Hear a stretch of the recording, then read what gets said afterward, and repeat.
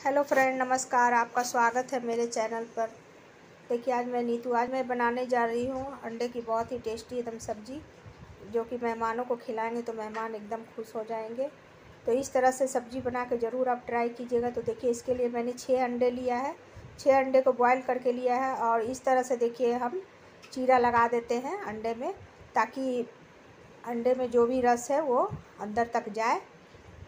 तो सारे अंडे को हम इस तरह से चीरा लगा दे रहे हैं।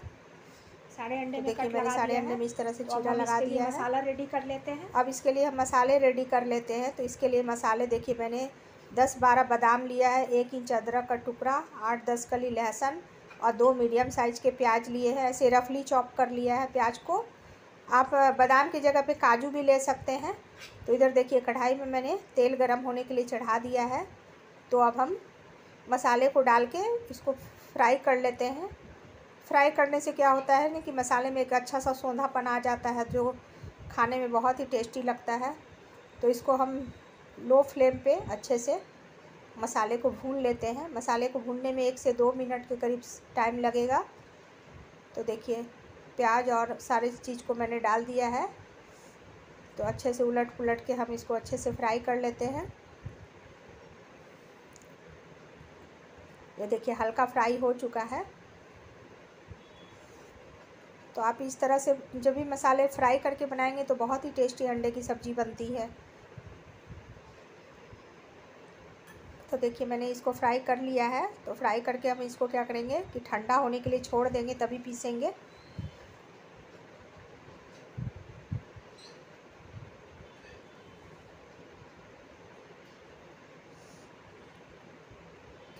ये देखिए फ्रेंड, अच्छे से फ्राई हो गया है। तो अब हम गैस के फ्लेम को बंद कर देते हैं और इसमें थोड़ा सा हम नमक डाल दे रहे हैं, जिससे कि ये प्याज क्या होगा ना, गरम से ये सॉफ्ट हो जाएगा। तो एक दो मिनट और चला लेते हैं।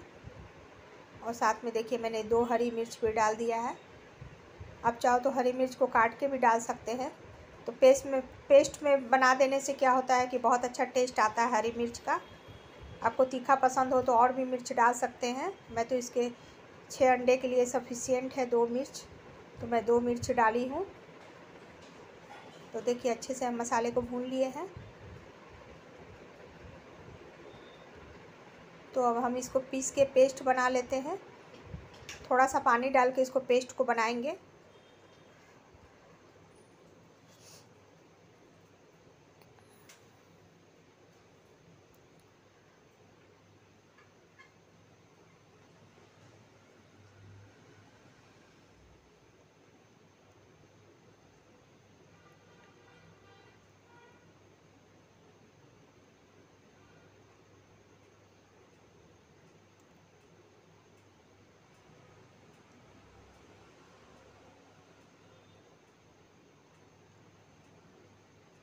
ये देखिए मेरा हो गया है।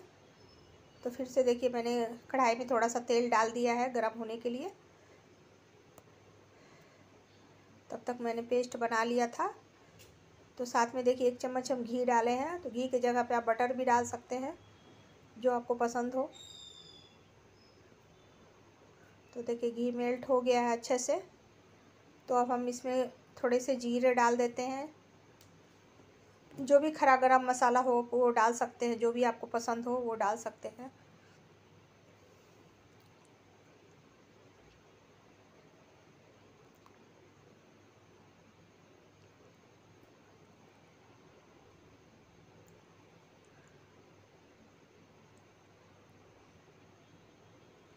तो देखिए, एक तेज़पात डाल दिया है हमने। और साथ में थोड़ा सा जीरा डाल दे रहे हैं। और एक सूखी मिर्च को तोड़ के डाल दे रहे हैं। और सभी चटक जा रहा है तो उसके बाद हम मसाले को डाल देंगे।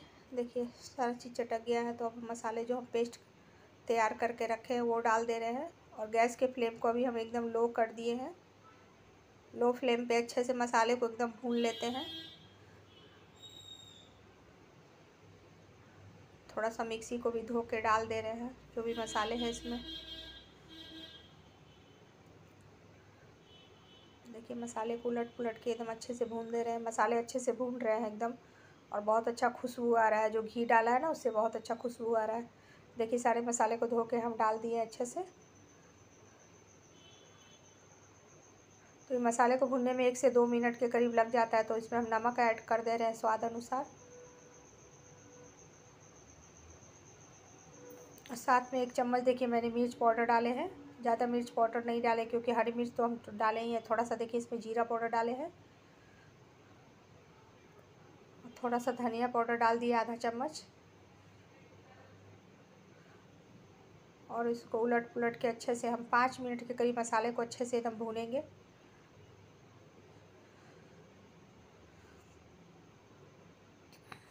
देखिए, मसाले अच्छे से भून गए हैं तो हम इसमें कस्तूरी मेथी जो है वो क्रश करके डाल दे रहे हैं। जिससे बहुत अच्छा एकदम टेस्ट आएगा। ये ढाबा या रेस्टोरेंट स्टाइल का एकदम एग करी बना रहे हैं वाइट एग कौरमा। तो देखिए मसाले में एकदम अच्छे से तेल भी छोड़ दिया है और एकदम खुशबू भी बहुत अच्छा आने लगा। तो हमें एक कटोरी करीब इसमें हम फेंट के दही डाले हैं। तो अभी हम गैस के फ्लेम को बंद कर दिए हैं, ताकि दही फटे ना, इसको कंटिन्यू इस तरह से चलाते रहेंगे हम दही डाल के। देखिए, कल दही डालते ही कलर कितना अच्छा चेंज हो गया है।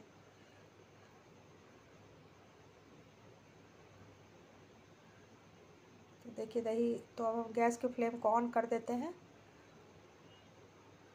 उसके बाद कंटिन्यू हम चला लेते हैं। तो देखिए, मेरा ग्रेवी जो है थोड़ा गाढ़ा हो गया है।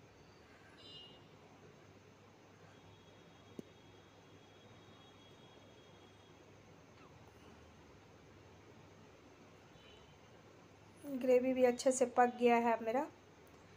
तो देखिए फ्रेंड थोड़ा सा हम इसमें पानी डाल दे रहे हैं।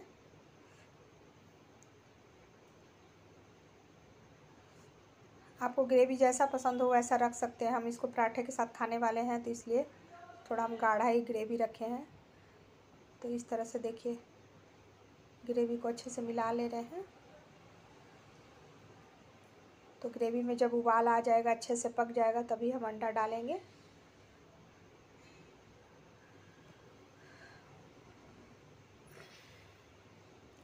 ये देखिए ग्रेवी में उबाल आ गया है। साथ में हम दो तीन क्या करें ना, हरी मिर्च को चीरा लगा के वो डाल दे रहे हैं, जिससे बहुत अच्छा टेस्ट आता है हरी मिर्च का इसके साथ। तो ये देखिए ग्रेवी में मेरा उबाल आ गया है। तो फ्रेंड ये रेसिपी आप लोगों को अच्छे लगे कौरमा की रेसिपी तो आप मुझे लाइक कीजिएगा और सब्सक्राइब कीजिएगा, मेरे चैनल को सपोर्ट कीजिएगा। तो अब हम इसमें क्या कर रहे हैं ना, अंडा जो बॉयल करके रखे हैं, चीरा लगा के वो डाल दे रहे हैं। और अंडा डाल के हम इसको एकदम अच्छे से, हम दो से तीन मिनट एकदम अच्छे से पकाएँगे ताकि इसका रस जो है वो अंडे तक एकदम अच्छे से चला जाए।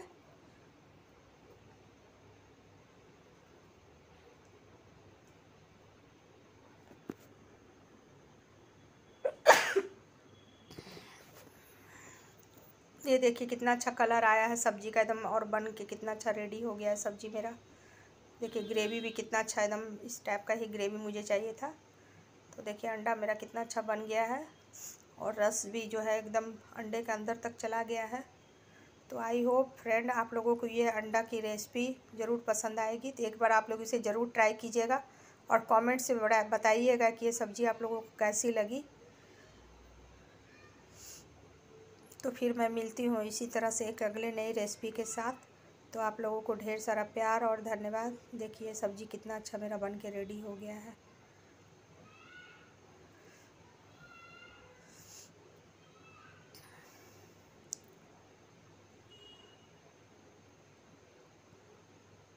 तो इसको हम आपको प्लेट में निकाल के दिखाते हैं।